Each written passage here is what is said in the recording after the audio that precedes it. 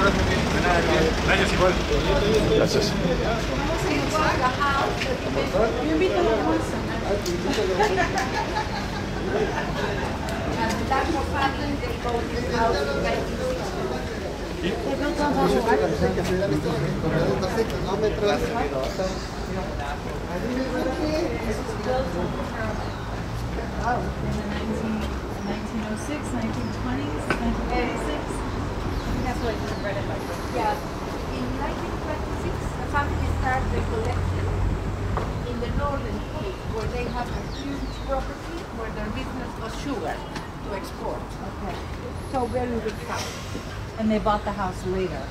Later, because they started the collection in 1926 farther north, but in 1961 they bought this house to move these pieces to here and do more easy for archaeology for all around the world coming to Lima to study this civilization.